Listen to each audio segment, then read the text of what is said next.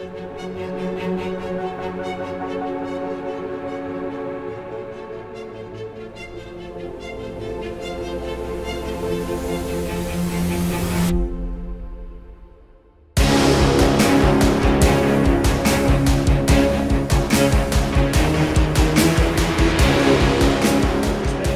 the bombshell that there's no tickets left. I, I couldn't even get tickets. Really? Uh, Scalpers. I, I was. I had four laptops open, um, and you put in an, a virtual waiting list, Yeah. and uh, it was random. Even if you were on it for ages, it was Mm. random where you got picked. And I had a forty-five minute wait, and by the time I got to forty-five minutes, there was nothing left. Oh man, it's not cool. Not cool. No, because I was loads of plans for videos because I was going to get in there, get loads of footage, and then get it on the channel. I had loads of ideas for things to do, like Mm. panels. I could have recorded panels, Yeah. Yeah. um, but yeah, oh well. oh, that sucks. Yeah, Is it? Um. There's no chance of getting scalp scalped tickets. Like, no, they they it, it's, like, concert Glastonbury tickets sort of now. thing. Yeah. Yeah, they, they make sure that it's like assigned to a person, so Yeah. you can't. Yeah, yeah, Oh, that's rubbish. it is really. We should have spoken about that. To be honest, I mean, I suppose we could take it from here. Uh, yeah, yeah, we could take it from the fact that we couldn't get tickets. Yeah. we tried both tried to get tickets. Um, Yeah, do you want yeah. to start again? Start from scratch. I mean, well, no. Let's just. I think we could go straight into it. I'm sure I can find a cut-off point somewhere that we can go in. okay. Um, Okay, it's a long and long time ago.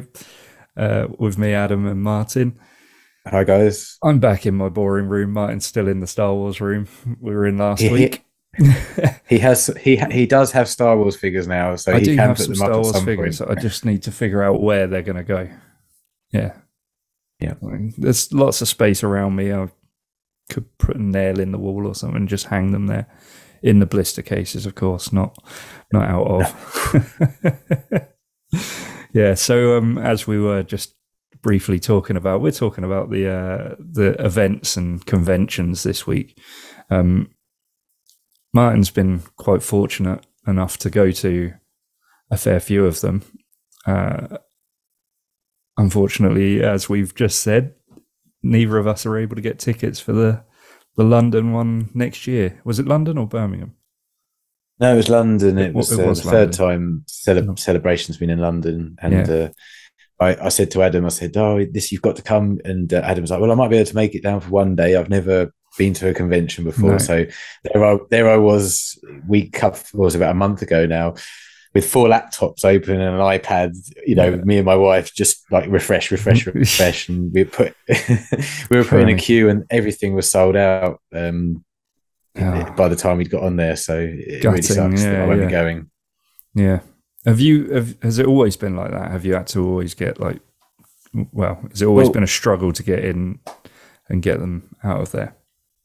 Well, I've I've been to Celebration Europe in Germany in 2013 and Celebration London in 2016, Yeah. and the, the tickets didn't seem to go very quickly at all back then. Um, I was lucky enough to get um, the Jedi Master tickets for both of those events, Okay. and you might have to explain what.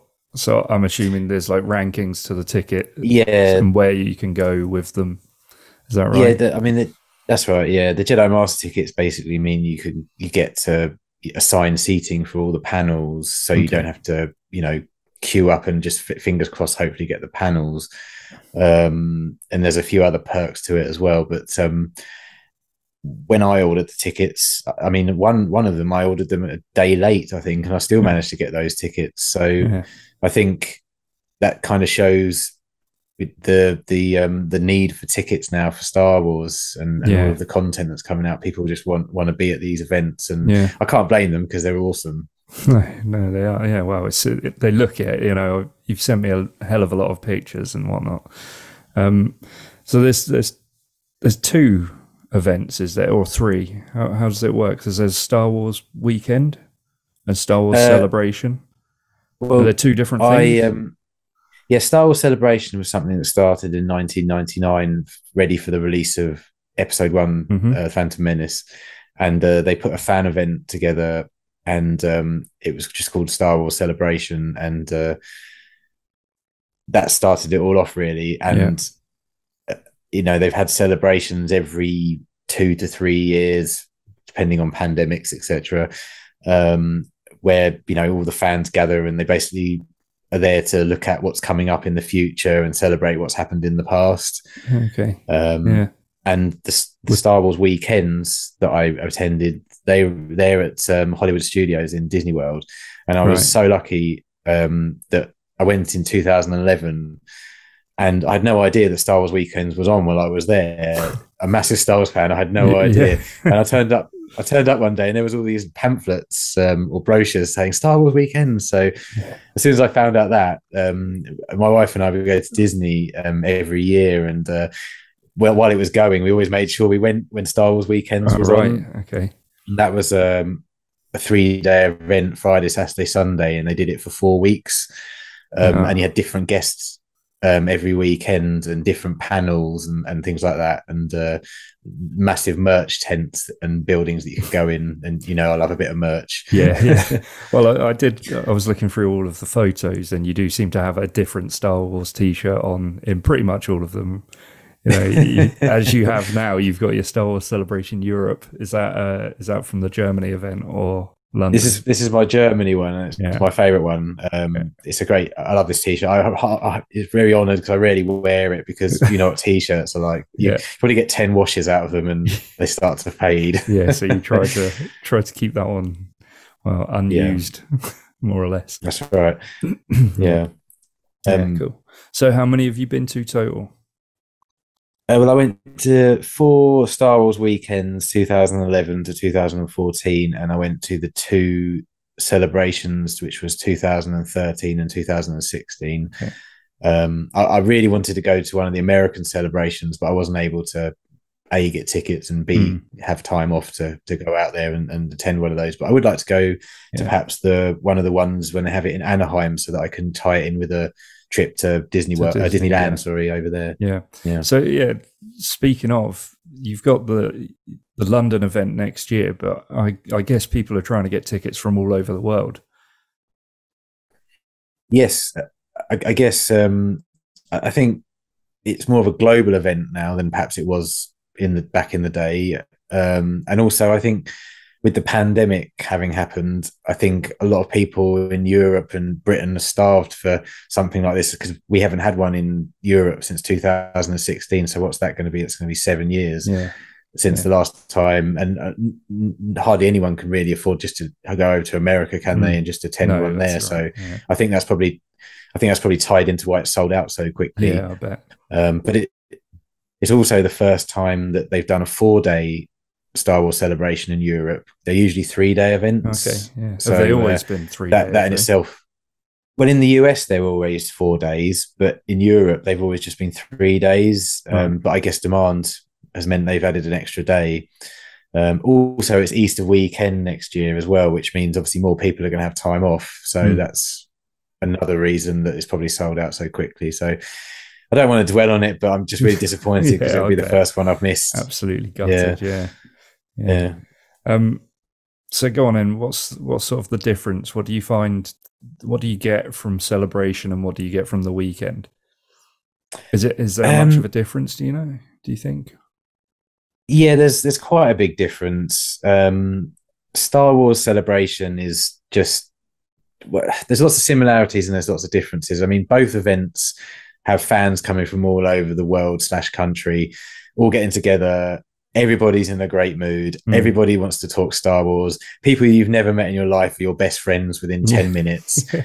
Um, there's lots of queuing in both of them. Um, and in the queue, you basically sit there or stand there and you're chatting to people you've never seen and met before. yeah. And you're you're just talking Star but Wars. it's, but it's absolutely fine. It's not. Yeah. It's not like It's not on, why is this queue not moving? You're No. you're okay with it. no, um, well, I mean, back in the day, yes, uh, not so much nowadays. I think because they do virtual panels now, uh, virtual okay. queues for panels. So there's a lot of disappointment. But um, the ones Right. I certainly went to, there were- you you would spe- weekends anyway. Um, you'd queue, and I mean, there was a in Star Wars weekends they had um, a big either tents or buildings that they'd set aside for merchandise, and obviously they'd only let a certain number of people through at a time, Hmm. and it'd be 80, 90 degrees in the sometimes higher in the um, Florida sun, Yeah. and you'd be in queues with hundreds of people but um, the Disney cast members would be there doing quizzes in the queue.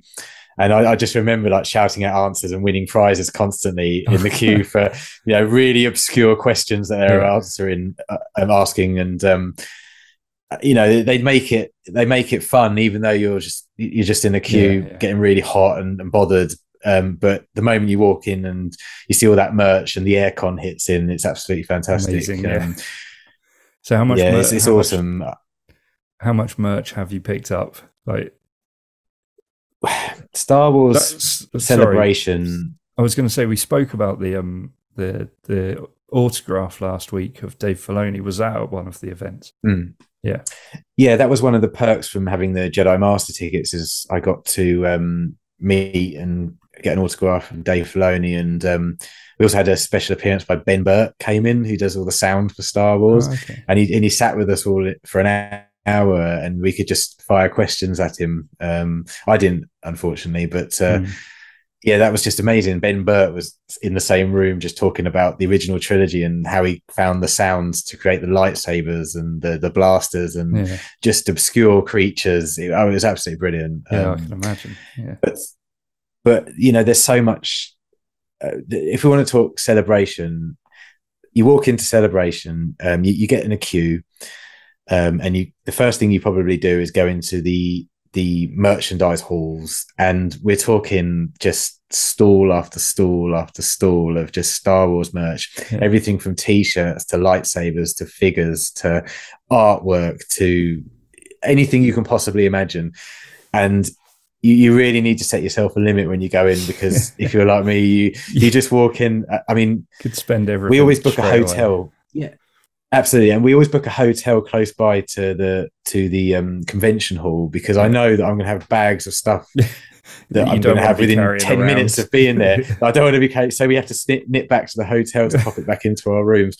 Um, yeah, I mean it's it's such good fun. Um, and then you've got the panels, so you've got you usually have a in production panel where they they sort of talking about the latest movies and um, the latest I suppose now TV shows is probably yeah. more um, prevalent, which which is great because they have all the stars come out and they give you a few hints and clues about what's happening in it, and mm. uh, you, you might get a trailer, which is you, yeah. know, you, you know you're the first to see this brand new trailer, and and of course everyone else is going to see it on the internet ten minutes later. Yeah, but there's something special about being the first person in being that room. In that but you, you're seeing it like it. the best quality possible as well. Those ones oh, on yes. the internet. Yeah, yeah. There's somebody filming yeah. that in the audience, so yeah, absolutely. I mean, we we uh, in Star Wars uh, London Celebration London, we saw um, a Rogue One panel, and it hadn't come out yet, and the entire cast of Rogue One came out, oh, and oh, wow. Gwendoline Christie, for, who played Captain Phasma um, in uh, the, the, sequel trilogy, she came. Mm. She hmm. was she was sort of the host of the panel, yeah. and uh, they had all of the every single actor came out, and then um, Ben Mendelsohn came out as dressed as um, director Krennic, oh.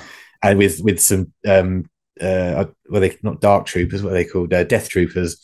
Um, behind him, and he walked up on the stage, and and no one was expecting it, and no. that's the sort of surprise you get when um, you know you go to these panels, and then not only that, they released a teaser trailer at the end of the panel, and to this day they've never released this teaser trailer on the internet.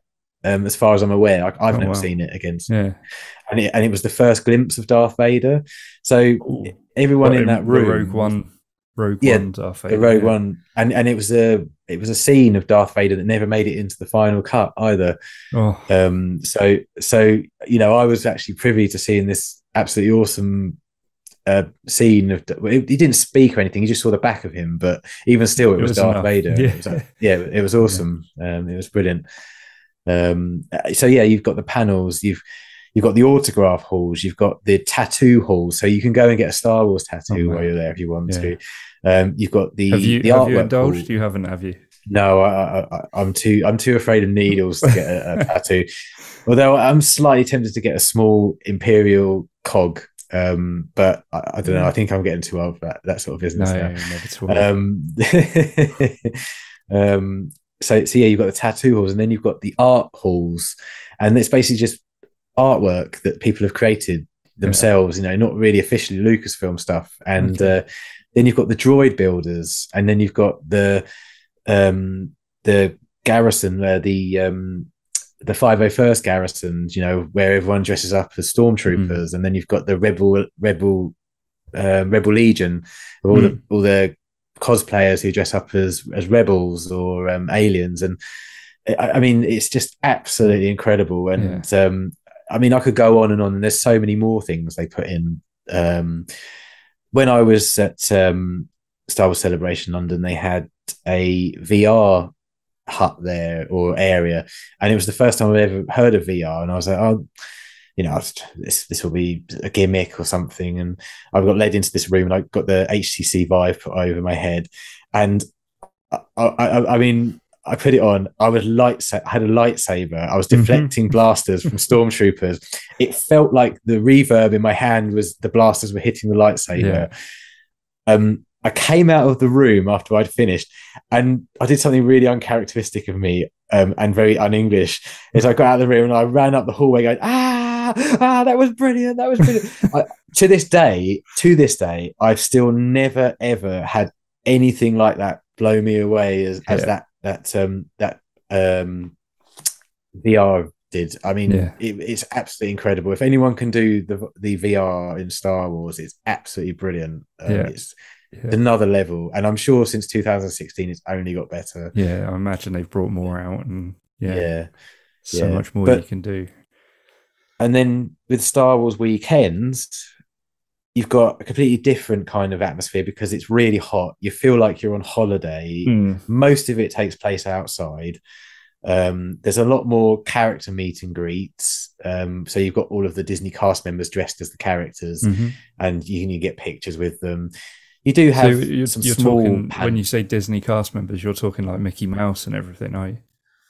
Like they're uh, yeah, all dressed you, in got yeah, you've, Star Wars. You've got manner. Jedi Mickey. Yeah, yeah, you got Jedi Mickey and Princess Leia Minnie, but you also mm. have Boba Fett, Darth oh, Vader, people, yeah, Darth Maul, uh, Asajj Ventress.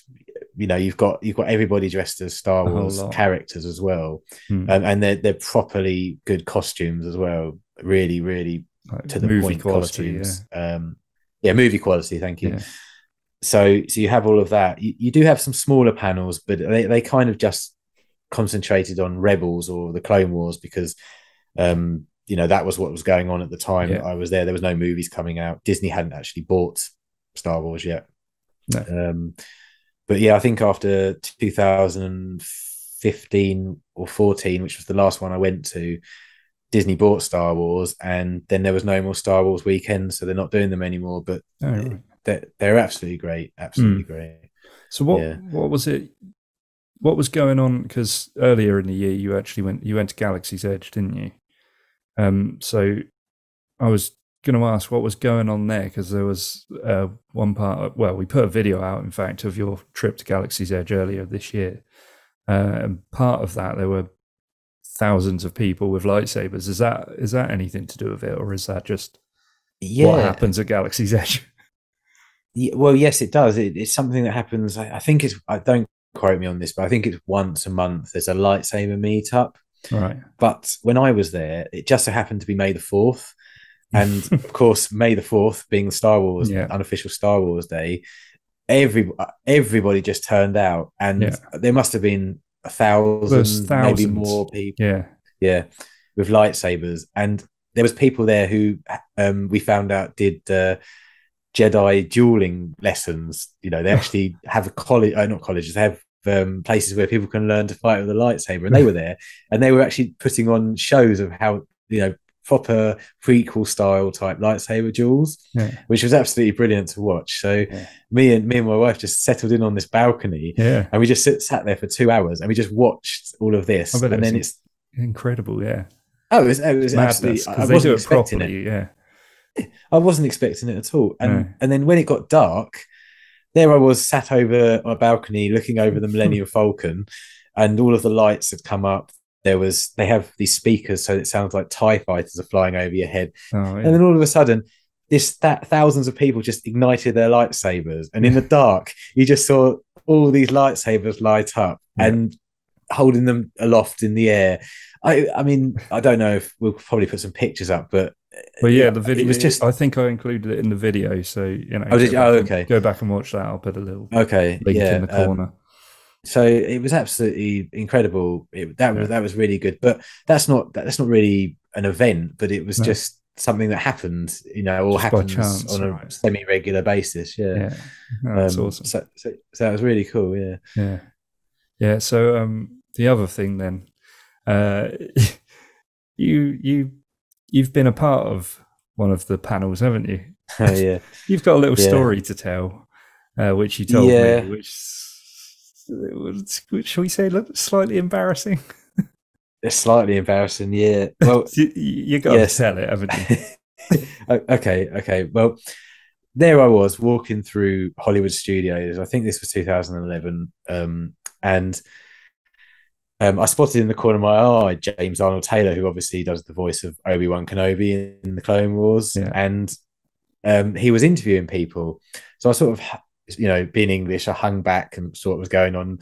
Never had any intention of getting involved, Didn't you? and uh, Didn't you? he okay, maybe maybe slightly wanted to get involved, but I hadn't quite got up the nerve yet yeah, and uh, I I walked over to. I'm, I'm guessing it was his producer. I don't know. There was another. There was there was James Arnold Taylor. There was a cameraman, and there was this other guy with a clipboard. Who I I'm going to call him the producer.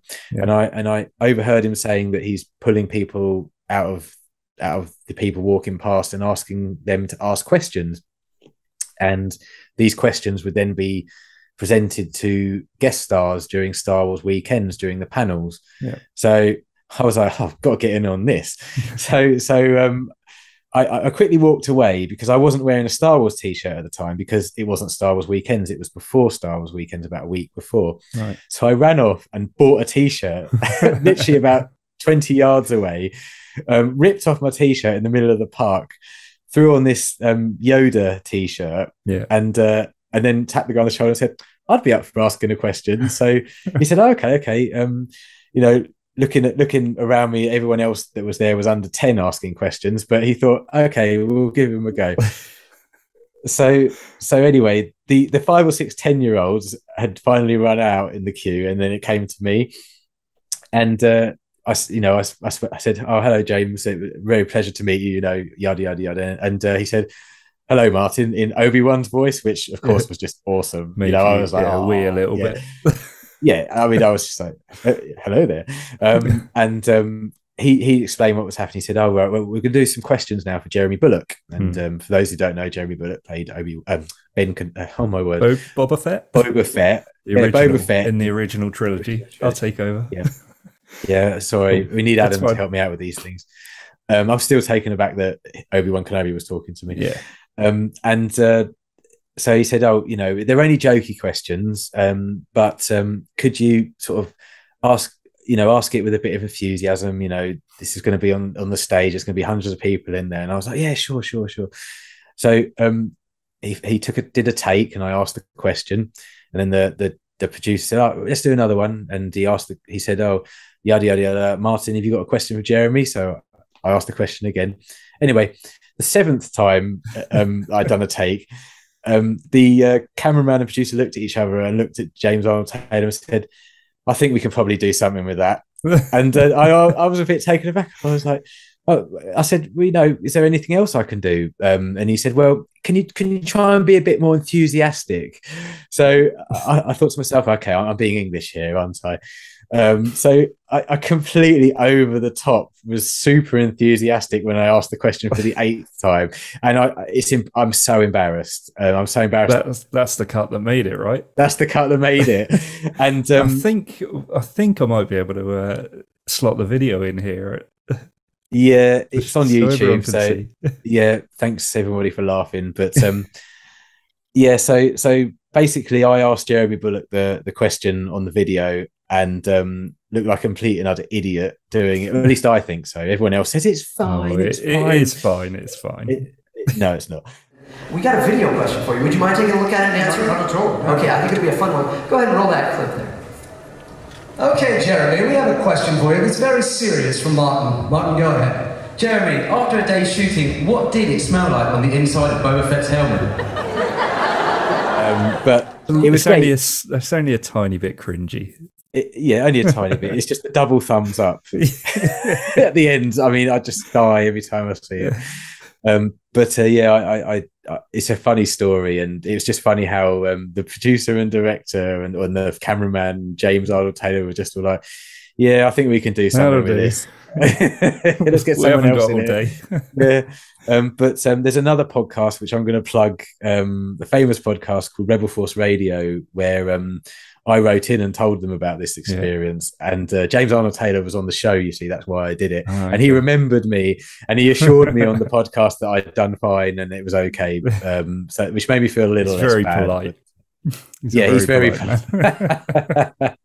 Yeah. Um, so so yeah, that that That's was cool. my um, foray into that. yeah. Um, but yeah, I mean, overall, I I just love going to conventions, um, Yeah. and I'm so gutted you you can't come to to the next one, and you've got to Well, come to one because you know what? I'm I'm glad that you didn't get tickets as well. No. So I feel for you a little bit. yeah, it's it's just it's like being. Go on, no, I was going to say it's just like being in an extended family when Yeah. you're there. It's, it's Yeah. absolutely awesome. I was just going to say, I know like how important it is really for you to go. It's it's quite a big deal. Yeah, I mean, it's, would have been awesome.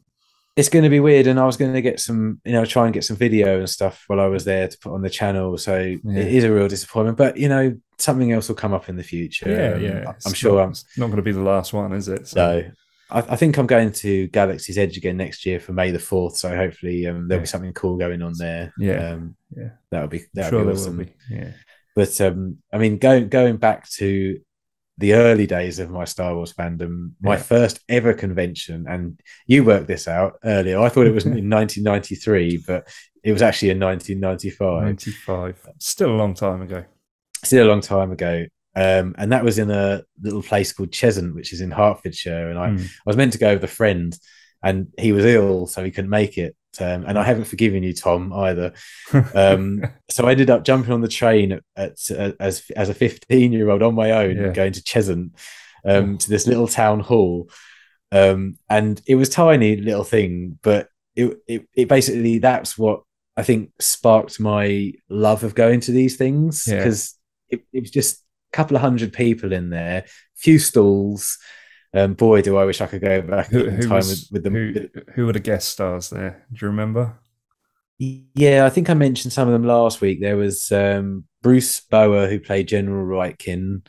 There was Warwick Davis. Oh, this is where you got the, Wicket. the signatures Yes, that's from- where I got those uh, autographs I was we telling you about, about. in the last Um, last episode. Yeah. yeah, um, but but yeah, I, I wish I could go back in time and uh, buy up all of the vintage Kenner figures that were on sale for probably thirty pounds or Well, you- something. Yeah, but you would have gone on to sell them sell them to that Yeah. one person in bulk. So No, no, no. I mean the original vintage Oh, um, the original, figures original, from, right. from the eighties. Yeah, because um, oh, you kept they those back ones. in.